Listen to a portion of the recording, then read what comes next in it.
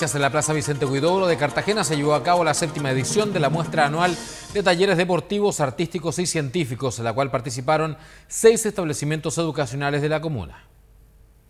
Este jueves se desarrolló en la Plaza de Cartagena la séptima versión de la muestra anual de talleres deportivos, artísticos y científicos, en la cual participaron el Liceo Poeta Vicente Huidobro, el Liceo Eugenia Subercasó, la Escuela Presidenta Aguirre Cerda, la Escuela Carmen Romero Loabarca, la Escuela Básica Los Zárate y la Escuela San Francisco de El Turco. Dentro de la planificación anual que hace el Departamento de Educación en conjunto con los establecimientos educacionales, eh, colocamos lo que es la presentación de los talleres eh, extraescolares que se realizan el interior de los colegios y su expresión hacia la comunidad.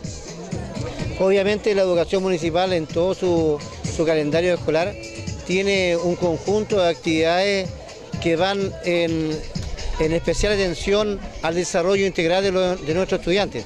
Y esta muestra es una, es una pequeña actividad de lo que al interior de los establecimientos se hace con nuestros alumnos. Gimnasia artística, cheerleaders, un mini concierto de piano y stand científicos se pudo apreciar en esta muestra que llenó de alegría, cultura y entretención a la Plaza Vicente Huidobro de Cartagena. Cada curso elige el taller en que quiere estar y trabajamos en diversas técnicas, cartonaje, reciclado, pintura, goma eva y los resultados son los que ustedes pueden ver en los diversos stands.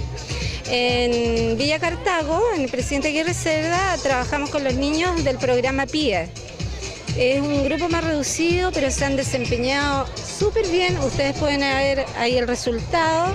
Han estado muy contentos, muy entusiasmados y lo han hecho todo precioso. Una de las muestras más destacadas y reconocidas fue la de la Escuela Presidenta Aguirre Cerda, que presentó a la comunidad su flamante proyecto ganador a nivel regional en el reciente Congreso Nacional de Ciencias y Tecnología. Acabamos de participar la semana recién pasada en el Congreso Nacional eh, de Ciencia y Tecnología también. Eh, y bueno, ha sido una experiencia bastante positiva y gratificante eh, haber obtenido este premio, esta distinción a nivel regional y lograr estar entre los 18 mejores proyectos del país. ¿Qué consiste el proyecto? Bueno, nuestro proyecto em, estaba basado en, técnicas de microbiología para utilizar como indicador la resistencia de antibióticos para determinar los niveles de contaminación.